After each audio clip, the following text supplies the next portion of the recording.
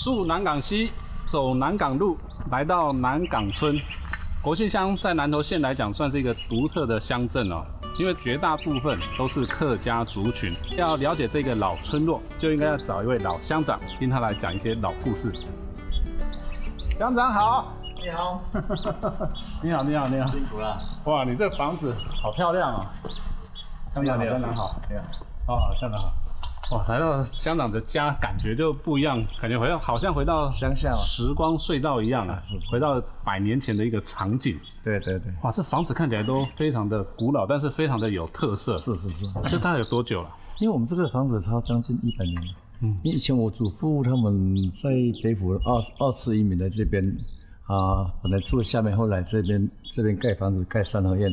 啊，来这边已经差不多，在这个房子差不多将近一百年了。哇，可以说是古迹了，所以来找老乡长就对了。不过我一进来就看到这个房子这边有一个牌子写西河堂，那西河堂是是我们双木林林家的一一个堂号。嗯嗯，哎，我们在在大陆是在梅县过的。哦，广东梅县，广东梅县，我祖父他们是明前五年就过来，所以说这个房子都木造的，木造房子都是用以前的榉木啊，榉木我们那种。带问题啊，但是那树木非常硬，它这个房子哈，它它都是用龙王层材的啊。那过去这还有还有手，很牢固的。这个树木哦，一百年两百年都不会腐蚀。这个这个这个树木很很很很硬的树木。嗯，林大哥，你说这个是用榉木？榉木对，就是我们台湾榉木。以前那个扶手，那个楼梯那扶手就就是这种同一种树木。哦，以前我们那时候小孩子的时候，这个山上到处都是啊。好大一颗哦，所以这边都有一些卡榫榫接，对它它这个下来下面有榫榫给打进去，所以它就不会摇动，地震摇它也不会动。哦，讲到地震，对对对对对，这边离九份二三很近，对我们这离九份二三是两公里。我那那时候九一大地震，这个房子都没事吗？连裂都没裂，完全没裂。因为在九分二三那个情形，就整个一百八十几公顷顺向坡滑滑动下来嘛。但是我们这边周边的房子都没有倒，甚至半倒都没有。但是它能能量在那边释放出来。那个九峰那山这边是我们国信乡南港村这边中寮，那中寮乡它一个永平街啊，那那房子倒了很多，那边永平街死一百多人。当时九一大地震是我们本村没有什么受损，就是那一百多公顷的那滑动，有在那边埋了三十九位，及两百八十九头鹿在那边埋掉。在整个我们这边南港村，房子全倒半倒都没有，哇，都没有。那真的是厉害。那所以这先人盖这房子是，对对，非常的扎实啊，对对，而且是耐震又防震。耐震防震，是用榉木的哦，这榉木的，所以它这个有拉力的。这很特别哈，这种树木，你假如说不说下雨，在在在在那个沙雨洒到的话哈，就这样子，一百年两百年它不会腐蚀。哦，嘿，他嘿它也不会说说是房子怎么会龟裂怎么情形都不会。所以有时候我们还是要学习一下先人的智慧。对对对，你看我们现在用比较现代化的工法，钢筋水泥，你看有时候地震才六六级多，对呀，房子就倒了。我们那跟这个九二一又差很多，七点三级啊。对，这七点三级都没倒，而且几乎都没有是。你说连半倒都没有，都没有。现在这个近那么将近一百年都都没有，现在有就油漆过，也其他都没有动。哇，哎，真的很特别。这建材听起来其实还蛮单纯的，就是榉木，然后竹片，竹片对，泥巴糊上去，外面再石灰，石灰一层就可以那么耐震了。哈，所以这个应该值得大家参考，或者是来考究一下。尤其台湾是一个。地震很多的地方，但是现在找这种树木没有了哦，没有几乎没有了，除非那是那个大雪山，那看那上面上没有，深山也没有。像现在我们以前我小孩子是是积木好多啊，嗯，两两尺三尺那种。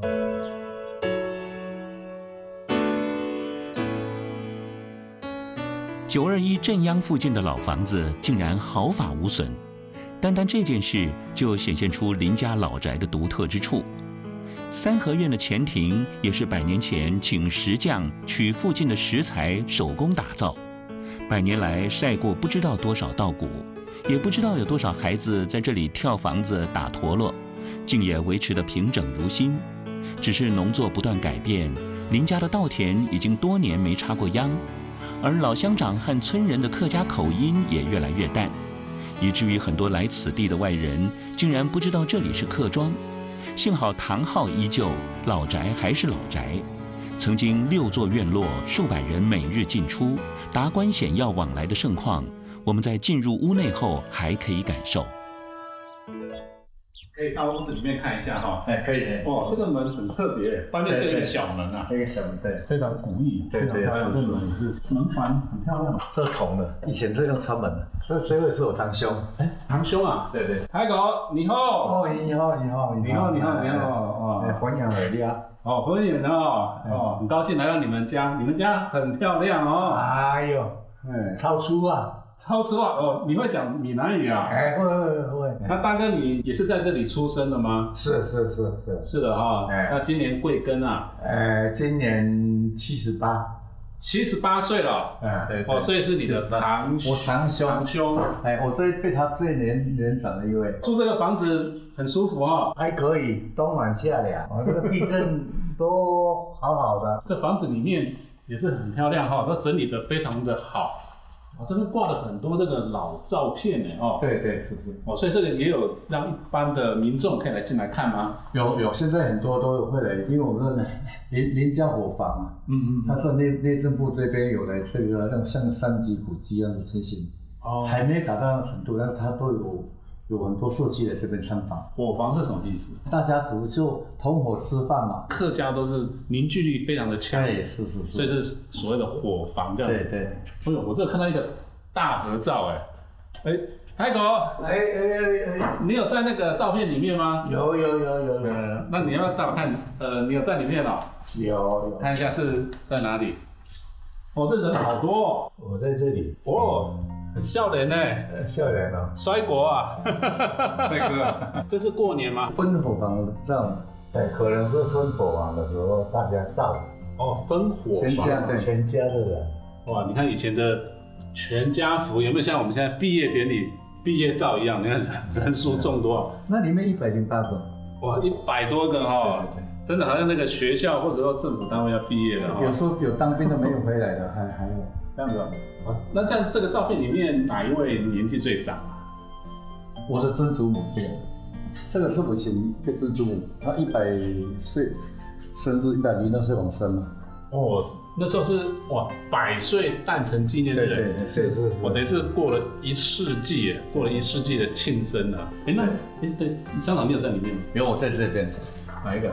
我那时候还是小，还是多小哎。哦，这么小啊？对对。哇，我今年六十四岁，这个这十几岁啊，哇，这时候才十几岁啊，对对对，我这个人数真的很多很多，有几任总统都来过哎，对，这是蒋经国总统，他经国总统。来看我们看路，到家里看路，哦，对，这李登辉总统他也过来，哦，那这一位是？谢东闵副总统，哦，谢东闵副总统，哇，因为这个这一位是我的堂妹，她是谢东闵副总统的那个以前他的特别后事。哦，吴堂兄的他的亲妹妹，我都来这边看你们养鹿啊。对，来看了养鹿对。哦，就是那时候养鹿是这边一个很重要的产业。养鹿浅水养鹿我们这边最早，我们这边前史养鹿超过一百年。嗯，这个照片也很特别。对，这好像在，这个在板德的。我的曾祖母一百岁，三百六十桌吧。哇，请三百六十桌啊。对对，前前乡的都来。像这个以前那个我们那个养那个猪啊。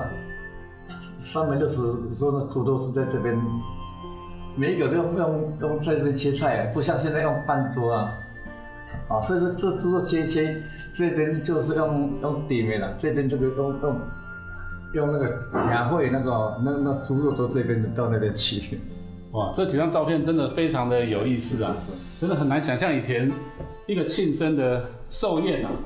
你看这么多人，而且我觉得那时候都戴着斗笠，都的斗笠，然后穿着那种汗衫，然后就在这个老厝啊，还有稻田前面，然后就在这边切菜啊、料理啊，哈，那一排看起来真的很特别、很好玩的。我们三百六十桌，对不对？嗯。那桌子像这样，我们前村的邻居，每一个人有桌子都要自己拿过来这边。哦，嘿，之前桌子四张椅子都带过来。真的再次印证了，还以前都是这样。因为我们之前去那个新北市石门乡，石门乡对。石门区那边拍，他们说以前在请客也都是要自己扛桌子还翻过一座山过来。哎，有时候要扛两公里、三公里都有。我说但是那时候小路不信这马路啊，没有车可以可以再用，都是用自己 用用用抬过来。所以以前请客其实对蛮辛苦，要自己扛那个桌子。像像这个都是都是自己带的，不是我们去租的，没有那时候地没没有地方租啊。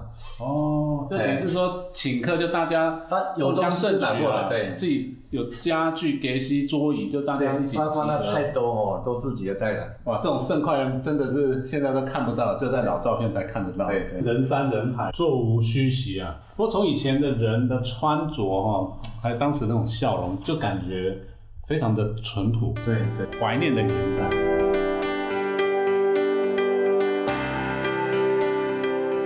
搬桌子赴宴，其实既环保又有社区意识。当时左邻右舍鸡犬相闻，农忙盖房子的时候换工要办桌庆祝，自然也是有力出力，有桌椅出桌椅了。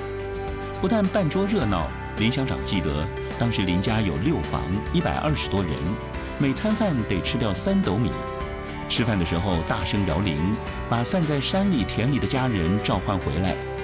早年农村没有钟表，整个村子都听林家的摇铃声决定坐席。百年来，作物从樟脑、稻米到梅子、香蕉，唯一一脉相承没有改变的就是养鹿。进到大厅，这个高度特别高啊！哇，这整个像透天的一样啊。对，这以前有跳高的，以前房子盖的比较高。嗯嗯嗯。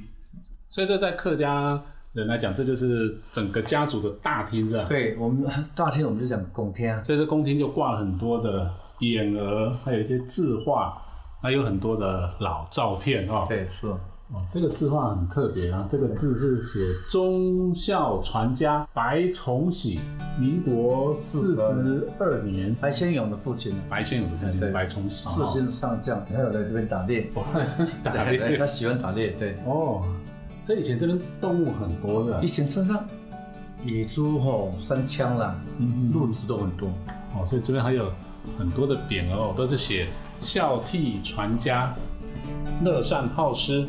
哎，这有一位长辈在这里。这这我问了啊，我的堂嫂，哎，你好，对三姐你好，你好，你好，嗯，你好，大大家好，哦，今年几岁啊？七十八岁，七十八岁了，哦，身体还很好哈、山上哎，这个是我们采收鹿种的时候，哎谢东敏副总统和的孙主席，哦，另外一个是林洋港先生嘛，对，那是当沈主席。哦，谢东敏副总统跟林洋港孙主席。那时候他他们人就看采收鹿种，他们都过来。哦，蒋经国总统他也到这边来看路嘛。这总统来这边哈，哦，这李总统又来对，了，那你你看，谢东敏副总统来好几次。你看这西河堂啊，就是这个大厅前面的门口，哇，这边都都是总统级的，会来到这边，是连出振东嘛，连战的爸爸。哦振东啊。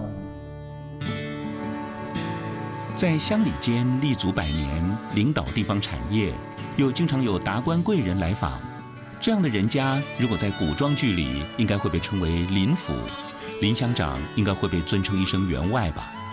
如此积善人家，这样恬静的小聚落，在九二一大地震中几乎没有受损，果然是上天眷顾的土地。南港村一个水路比人口还多一倍的小小聚落，依山傍水，静静地在南头这个好地方，以客家人的勤奋低调，生息绵延了一百多年。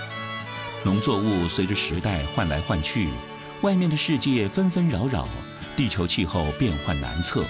他们也只是仰头看看天，顺道伸展伸展筋骨，然后埋手工作，做好准备，迎接来年的一树金黄。MIT 台湾志还要从这个有个性、有故事的客家庄，看见更多台湾的美丽风景。